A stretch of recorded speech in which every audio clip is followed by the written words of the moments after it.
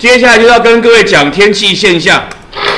气象报告有包括天气现象，前面讲过，待会再说一次。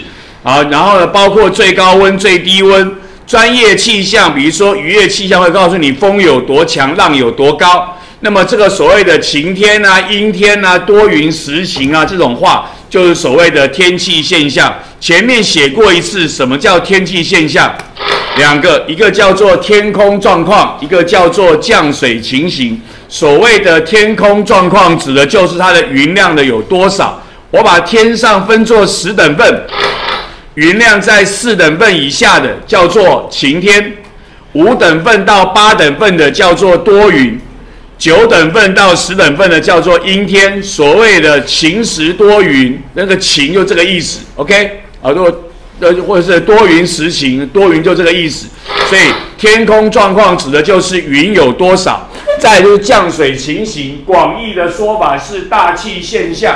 大气现象包含内容比较多啦，什么闪电啊，什么挖沟之类的，我们不管。我们国中只教降水情形，只教降水情形。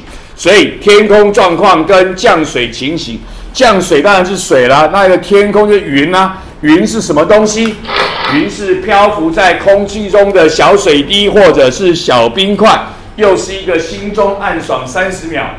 我每一年都跟学生强调，云是飘在空气的小水滴或小冰块，够冷就是小冰块，不够冷就是小水滴。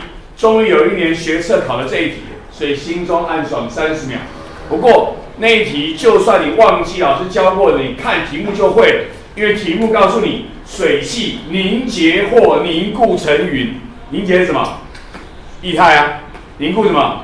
固态啊。看题目就会了，老师讲的忘记也可以啦，也可以也会，OK。这叫做小水滴，可看是谁做的？水做的嘛，对不对？降水也是水嘛，云也是什么？水，所以通通跟谁有关？通通跟，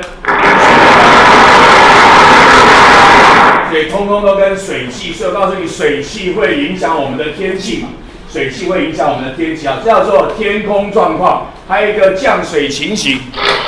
啊，降水有分两种，一个叫液态降水，一个叫做固态降水。所以专业的说法要讲降水，不能够讲降雨。降雨只是液态，还有所谓的固态。固态基本上有两个，一个下雪，一个下冰雹。国中从来没有教过下雪，台湾没有什么雪这回事。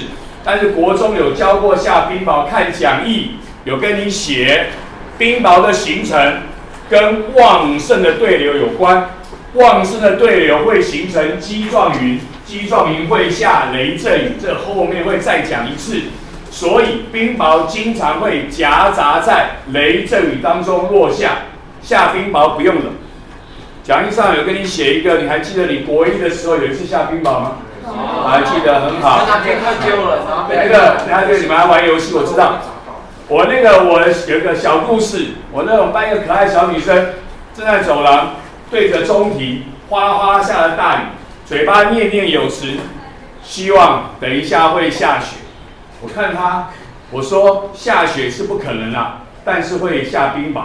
话讲完没有一分钟，啪啪啪啪啪就开始下冰雹。老师神准，老师神准，OK 就下冰雹。所以对国中生而言，重点叫做冰雹的形成跟旺盛的对流有关。旺盛的对流会形成积状云，积状云会下雷阵雨，所以冰雹经常夹杂在雷阵雨当中落下，要要要落下。OK，再就是所谓的下雨降雨，降雨呢，雨量是用所谓的雨水深度来分，啊，雨量是用雨水深度来分，然后呢，单位是公里，通常通常会再加一个时间，就是日雨量。或者是年雨量，或者是时雨量，好啊。刚才跟你讲说，它是用雨水深度来分。我们会假设雨地是平的，然后呢，雨水会均匀的下下来，大家就一起往上淹。啊，这时候呢，你找一个大桶子，找一个小桶子，找一个中桶子装，什么是一样的？高度是一样，对不对？深度是一样的，所以我们说雨量的计算用什么算？雨水深度来算，有多少公里？考试就考什么？考试就考你画一个大桶子，画一个中桶子，画一个小桶子，然后我跟你说，我的水装了这么多，啊，我的水装了这么多，装了这么多，跟装了这么多，然后就请问你，谁的雨量比较多？谁雨量多？中间那个比较多嘛，因为水比较高，是这样。这是考试的题目，偶尔会变形，加一点时间或怎么样，但基本上就这样做。所以雨量就是根据雨水深度，重点是根据雨水深度来分。假设地是平的，均匀下下一起往上淹，所以越高的就表示下的雨就会越多。然后呢，单位是公里，但通常会加时间。然后呢，根据雨下了多少，有分作小雨、中雨、大雨跟豪雨。这里有一个可爱的表格，当然不用背，我也背不起来。讲义上有跟你注明，讲义上有跟你注明，这个气象局改过标准。一开始改标准的时候，有一个超大豪雨跟一个特大豪雨。记者没有人搞得懂，到底是超大比较大还是特大比较大。所以后来就变成豪雨、大豪雨、超大豪雨。大豪雨比豪雨大，超大豪雨比大豪雨更大。改这个好处是，从此之后，中华民国可以因为雨下太大放假。台风假的放假标准是风，风要够强才放假，啊，怕把你吹走啊，所以风不够强就不放假。改过以后，雨下太多可以放假。讲义上有人写个。民国九十四年六月，中华民国第一次因为雨下太大放假，雨下太大放假，中华民国第一次。还有一个你们小六的时候，一百零一年你们小六的时候，我们有放假。我本校正在毕业典礼那一天宣布放假，但是被屌，因为一早狂风暴雨，大家冒雨跑来学校上课，然后十点左右吧宣布放假就没下。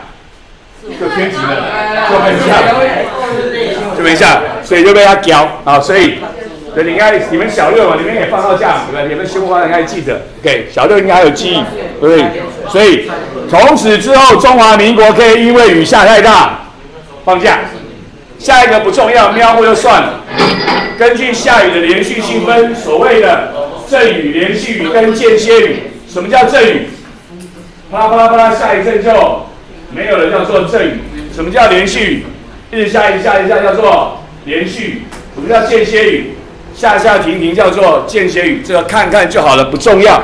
重要事情是你要知道雨量怎么算，雨水深度单位公里，单位公里，这个是重点，你要记住。OK。